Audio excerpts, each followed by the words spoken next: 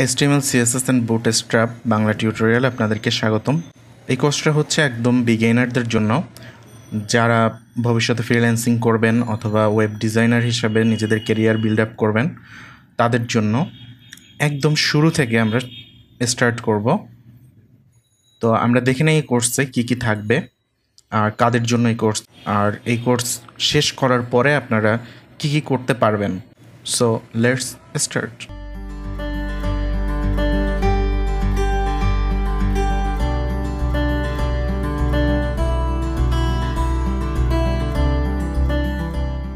HTML, CSS, Bootstrap.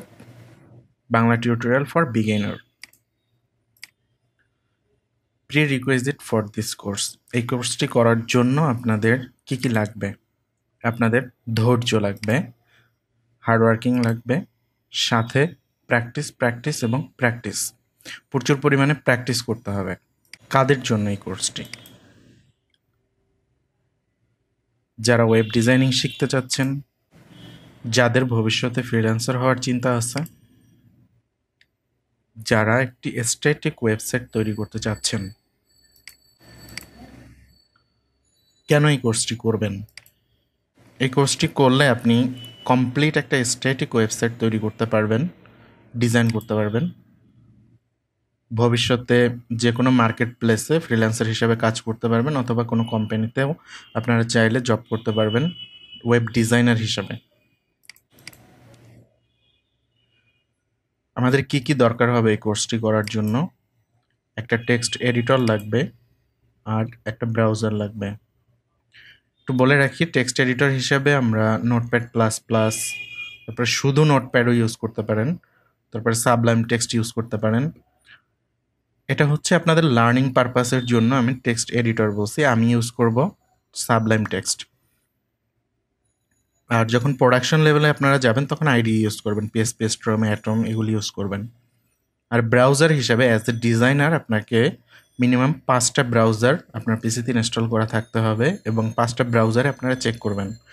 কারণ cross platform বলে একটা কথা আছে ওয়েব ডিজাইনিংয়ে কারণ সব কোড যে সব ব্রাউজারে একই রকম শো করবে, এমন কথা নেই। কিছু কিছু ডিফারেন্ট হয়। Google Chrome Mozilla Firefox Opera Safari Internet Explorer যেটা এখন এজ নামে পরিচিত। ডিসকাস করে নেই এসটিএমএল সিএসএস কি বা বুটস্ট্র্যাপ কী জিনিস? HTML hyper text markup language hyper text markup language দিয়ে আমরা কী করি? একটা ওয়েবসাইটের স্ট্রাকচারটা তৈরি করি আমরা। সিএসএস হলো ইন্টেরিয়ার অর্থাৎ ডিজাইনিং পার্টটা একটা স্ট্রাকচার তৈরি করলেন, ওটাকে কত সুন্দরভাবে রিপ্রেজেন্ট করা যায়, সেটা হচ্ছে সিএসএস এর কাজ। আর বুটস্ট্র্যাপটা হচ্ছে সিএসএস এর একটা ফ্রেমওয়ার্ক আমরা যখন বুটস্ট্র্যাপের ক্লাসগুলি শুরু করব, তখন এটা নিয়ে ডিটেলস আলোচনা করব। আপাতত সিএসএস এর একটা ফ্রেমওয়ার্ক এটা দিয়ে সিএসএস অনেক সহজে কাজ করা যায়। আপাতত এটুকু জানলেই আমাদের চলবে। যাদের ভবিষ্যতে ফ্রিল্যান্সার হওয়ার ইচ্ছা আছে, তারা এখান থেকে শুরু করতে পারেন। আমি বলছি না যে এই কোর্সটা শেষ হলেই আপনি ফ্রিল্যান্সার হয়ে যাবেন। আপনার এর পিছনে অনেক পরিশ্রম করতে হবে। একটা মানুষ ফ্রিল্যান্সার হওয়ার পিছনে অনেক কষ্ট করে, অনেক হার্ডওয়ার্ক করে, অনেক ধৈর্য নিয়ে কাজ করে। কতদূর গিয়ে ফেড আপ হয়ে ছেড়ে দিবেন, তাহলে তো সাকসেস আসবে না। তো আমি আপনাদের সাথে থাকব। আপনাদের আপনাদের কোথাও বুঝতে প্রবলেম হলে কমেন্ট করবেন। আমি যথাসাধ্য চেষ্টা করব আপনাদের কমেন্টের রিপ্লাই দেওয়ার এবং আপনাদের প্রবলেম সলভ করে দেওয়ার। আশা করি সবাই সাথেই থাকবেন। সো আমরা এবার একটু এনভায়রনমেন্টটা রেডি করি। আমাদের সবার পিসিতেই নর্মালি ব্রাউজার দেয়া থাকে। ব্রাউজার না থাকলে আপনার মিনিমাম গুগল ক্রম এবং মজিলা ফায়ারফক্স এই দুইটা আপাতত ইনস্টল করে নেন। সাথে আমরা টেক্সট এডিটর হিসেবে সাবলাম টেক্সটটা নিব। আমরা দেখি sublime text SUB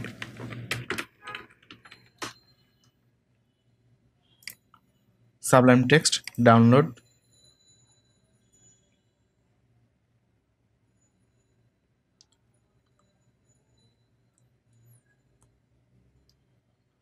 আপনারা এখান থেকে ডাউনলোড করে নেবেন। আমার Windows sixty four bit so আমি সিক্সটি ফোর বিট নিয়ে নিচ্ছি। ডাউনলোড করে আপনারা ইনস্টল করে নেবেন। জাস্ট নেক্সট নেক্সট করে ইনস্টল দিলেই হবে। সো আমার এখানে ইনস্টল করা আছে।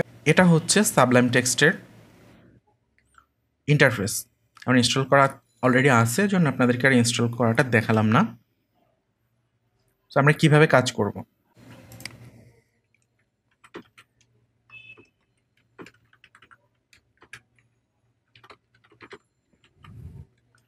আমরা একটা ফোল্ডার ওপেন করলাম HTML CSS টিউটোরিয়াল এই ফোল্ডারটা জাস্ট ড্র্যাগ অ্যান্ড ড্রপ করব সাবলাইম টেক্সটের ভিতরে। এটা দেখেন ড্র্যাগ অ্যান্ড ড্রপ করার পরে এখানে ব্ল্যাঙ্ক ফোল্ডারটা চলে আসছে। এখানে দেখেন ফোল্ডারের ভিতরে কিছু নেই।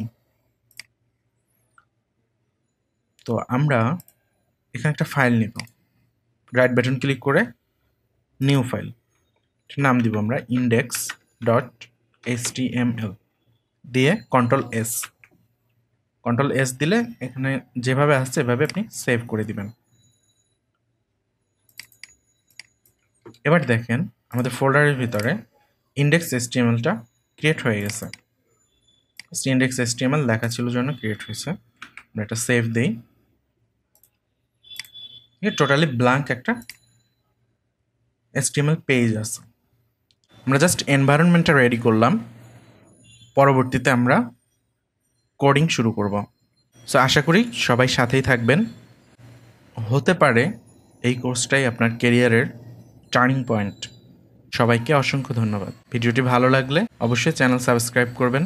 আপনাদের মতামত থাকলে মতামতগুলি কমেন্ট বক্সে জানাবেন।